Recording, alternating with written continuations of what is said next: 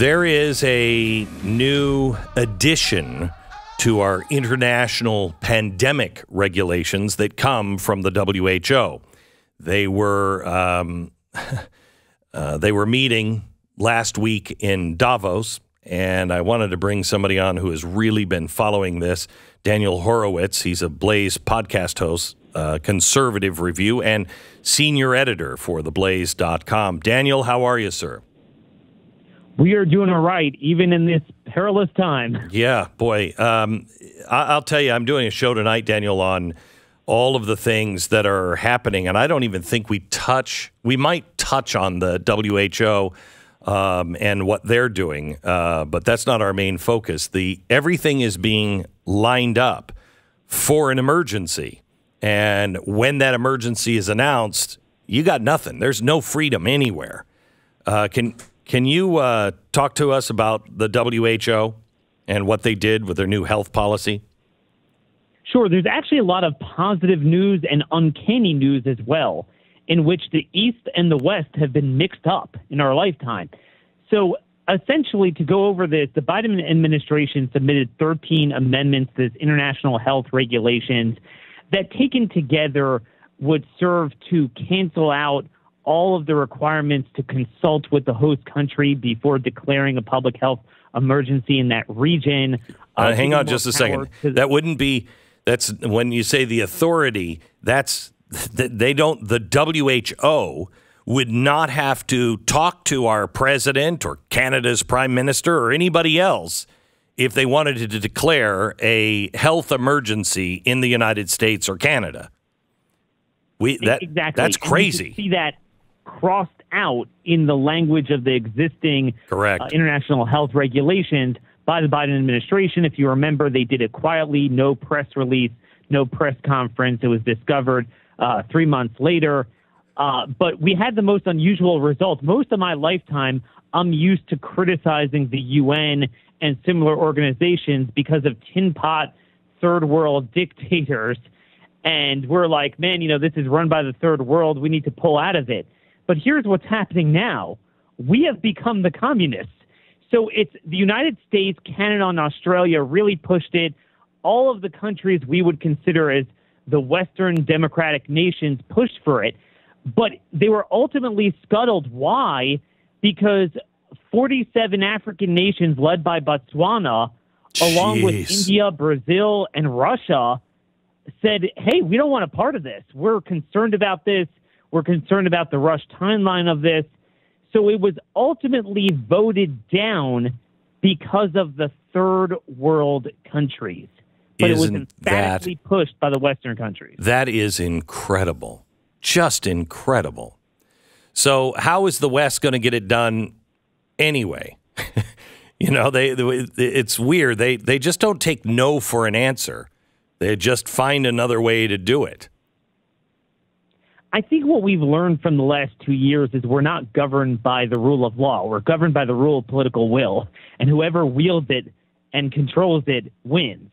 Uh, unfortunately, that's where we are. So it's not a matter of a formal treaty or even some sort of international uh, regulation. It's funny, the fact checkers were all over us saying, well, the WHO can't force you to do anything. Well, yeah, that's why I was saying states need to preemptively just say we're not doing it. Uh, but the but the reason why I drew attention to this is because it demonstrated the intent of the Biden administration. I'm more concerned about them yes. than the WHO. So, but but you that, you were hit yep. by factcheck.org. Uh, the WHO has no authority to dictate U.S. health policy.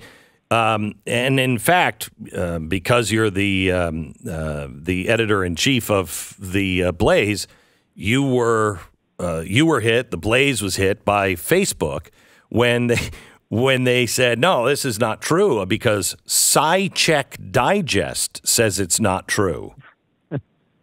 Do you? It, it's kind of like the Amelia Bedelia books I read to my kids. Right. So, and they do this on purpose. They take this hyper literalist approach when you raise a political concern. Hey, why is the Biden administration uh, truncating all the timelines for approval, as well as uh, vitiating any requirement to consult with the host nation in order to declare a public health emergency. And they're like, well, the WHO can't do anything to you anyway. Well, yeah, I mean that's why we're saying we need to stand up to that.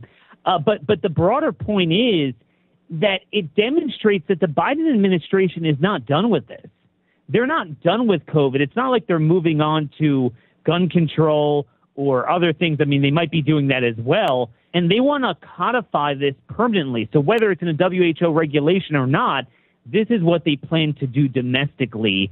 And certainly when you start hearing about monkeypox and the next thing and the pediatric hepatitis uh, pandemic they're talking about, you definitely know that lockdowns, masks, forced therapeutics, they're not done with that.